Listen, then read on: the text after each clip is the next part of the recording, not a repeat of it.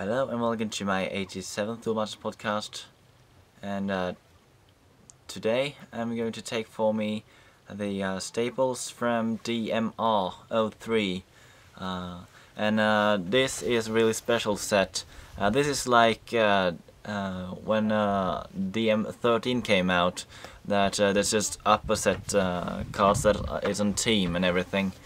And um, and yeah and uh, and uh, this is a very special set uh, because there is uh, some uh, triple civilization cards. Yeah, calm down now.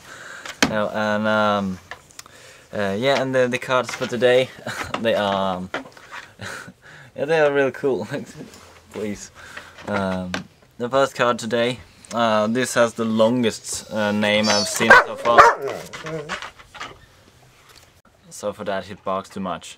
Okay, uh, the, the card is called uh, Combo uh, uh, Cebu uh, Lumber the Super Electromagnet.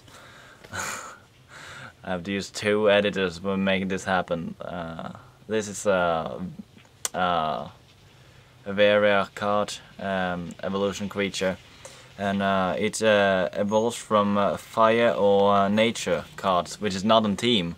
So that, that, that's kind of fun. And um, it also have uh, Meteorburn. And uh, when this card attacked, you uh, can take the card under it into the graveyard and uh, you draw three cards. It also have Double Breaker. Uh, and uh, in the start of your turn, uh, you can take cards that are not um, not an um, evolution creature in under this card in the beginning of a turn so you can use the Meteorburn um, even more times. Uh, next card uh, is um, uh, Nature Darkness spell. It's called uh, Hyperspatial uh, Group Black Green Hole. yes, there are some uh, long names this card. Yeah. Uh, this card, uh, of course you have to tap it when you put it in the mana zone. Uh, and um, uh, choose one uh, creature from your um, your graveyard into your mana zone. this was the greatest card of those because there are similar cards that are multicolor. this one is has the best effect. And you can take a card, one card that costs 5 mana or less uh, from your hyperspatial zone into a battle zone. Um, no other restrictions. Uh, so th that's kind of great.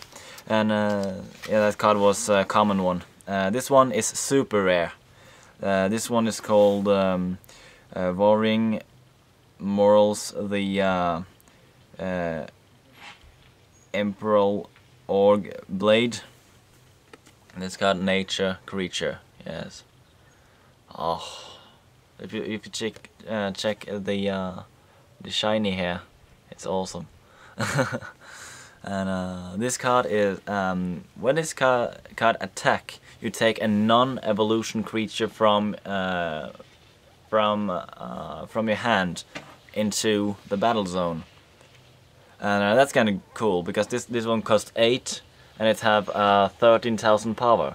that's nothing for um, for nature civilization. So um, that is a really great card. Uh, and super rare of course, uh, but still I um, have it with me because it's so awesome. uh, next card is a light fire uh, creature called uh, this uh, music Ranger of Gaia.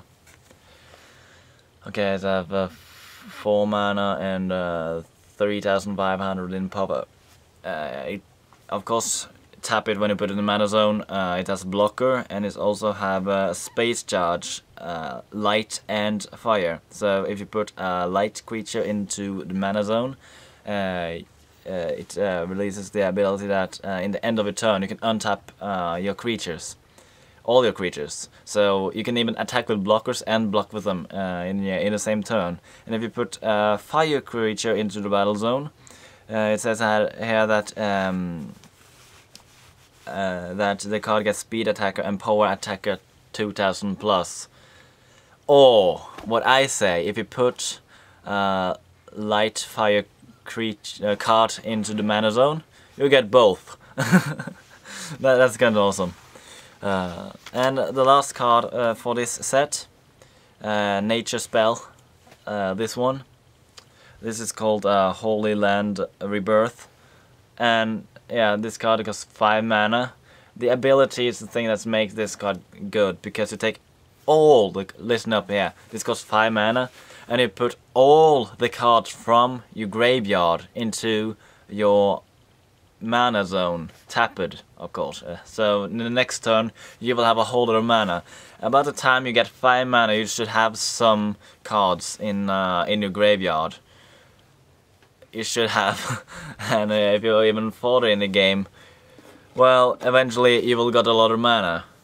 Uh, and yes, I'm proud of this. That was the top card. And uh, this time I was able to get uh, one from each rarity. I like this set. This is a good set if you're a beginner, for example. Uh, like, uh, yeah, those cards. And there are some triple uh, civilization cards here, where you have uh, two cards that are on team and one that's not on team of uh, with every one of them. And it's always like this in this set. And it's always cards that is not on team in uh, the multicolors. So uh, uh, that is really great. That was everything for today. Uh, later up I will have some more news coming up and stuff. And uh, the next time I will take for me the newest set, which is uh, uh, DMR 04. And uh, now I finally made it. the set just came out, I have to buy it, and then I can review it as a new set. So See you next time.